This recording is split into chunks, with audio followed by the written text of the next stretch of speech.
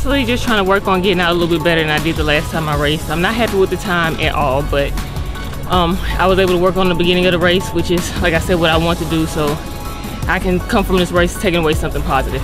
I feel like I executed the beginning well. I still have to work on the finish part. Um, so yeah, that's something I'm gonna go back home and go back to the drawing board for.